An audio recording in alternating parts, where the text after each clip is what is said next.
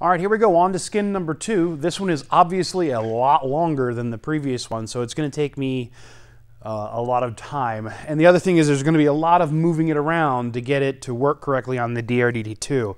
So that's interesting. Um, take your time with these skins. Make sure you have the right facing up. That's always important. And uh, don't rush it. That's my advice, if I had any. So, all right, here we go. The rest of this is done exactly as the last one was done. Uh, I've sped it up considerably because, well, frankly, you've seen it once. You've seen it a bunch of times. Using the DRDT2 to manhandle that really long skin. And uh, yeah, it's not too bad. That So that skin, gosh, the uh, if I remember correctly, the wing itself, like that entire structure you see back there with the ribs, is, I think, 16 feet long. And so I think this skin is like 10 or 12. Uh, I'm guessing because I don't have the measurements in front of me. Um, but it's it's lengthy. It would be really handy to have another body, like just another person out there to hold either end of it as you roll it around. Uh, I didn't have that luxury, so instead I was using a step ladder and a board and you know, whatever I could find to help support it as I did the work had I to do it all over again, I probably would make that little uh, pedestal table there longer. It would just make things a lot easier. Once I got that done, I went through and started working on uh, dimpling all the holes in the various ribs and other places that need dimples. So what you just watched me work on was going through and dimpling all of the ribs and this rear spar. Now that all the dimpling is done, it's actually time to begin the assembly process on the skins itself. So I'm going to take the skins, I'm going to put them back on here per the instructions and start the riveting process. A lot of this is going to be done with bucking bars and uh, rivet gun because there's just no way to use a squeezer. The other thing that's really important is that you make sure that you don't get a twist in your wing. Uh, this would be very bad. So to that end, uh, I have placed a wooden board down here at the end that, so that it is uh, beyond this doubler as far as possible on top and bottom and so that there's no screws or anything that it's sitting on. And I've done the same all the way down at the other end. So it's, it's sitting on a piece of uniform length and thickness uh, at the very end of that doubler so that both sides are the same and then the rest of it is just free in between. Because again you've got a doubler on here a stepped doubler that's longer on one side than it is the other.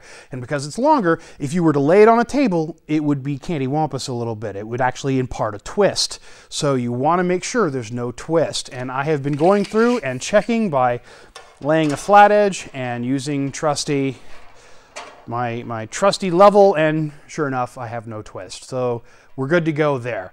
I'm going to go ahead and get ready, put the skins on and begin the process. And I did just that. I started working on the skins and I got it partly assembled and I realized, wait a minute, I've forgotten something. So I totally just noticed something and uh, I, I skipped a step and I'm calling myself out on it because it was a really dumb step to skip. You'll notice that I've got this rear spar back here and I've still got Clecos holding it in. And as I was putting the skin on, I was like, you know, if I put all this on, how am I supposed to rivet this? That doesn't make sense. It seems out of order. And I went back and I checked the plan and yeah, I was supposed to have riveted all this on before I even started on the skins. I skipped an entire step. I'm not sure how I skipped a step, it's on a different part of the page. So as you can see here in the upper left is where I did, was working on it. And then I just turned the page and I completely ignored step four down here in the bottom right. I'm an idiot. Um, pay attention, right? So I'm going to do that right quick.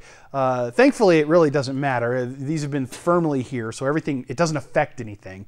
Uh, so I'm going to go ahead and rivet all those right quick, and then we'll get back to working on the skin. Eh, mistakes happen.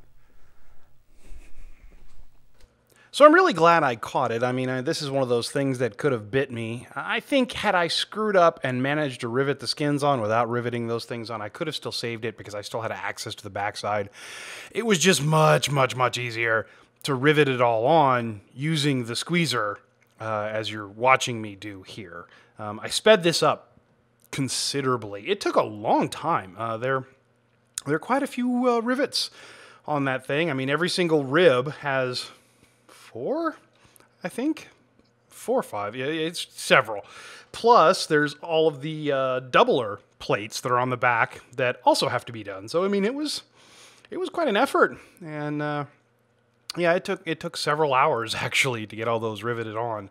Uh, again, pay attention. You know, make sure you read all of the instructions, both before and after. I think this was a page where I, I did or uh, I didn't read it before, and I didn't read it as doing. You know what I mean? I, I, I don't know. I just got ahead of myself. So, eh, mistakes are gonna happen. Okay, it's finally time to go ahead and start riveting on this skin. So I did go through and I put all the rivets in up top here uh, on the rear spar, something that I had said I had forgotten. I showed you that. Went through it, uh, went through and did it all. Took a couple hours actually, and then I put all the skins on, got all the Clecos on. I want the skin good and tight for me to work with, so I put it. I made sure I had a Cleco in every other hole. Uh, used up a lot of Clecos. Remember, you need a lot of these things to do this. The wings take up a lot because there's a lot of holes. But uh, I'm going to dive into this next. That's what's coming up in the next video. See you guys later.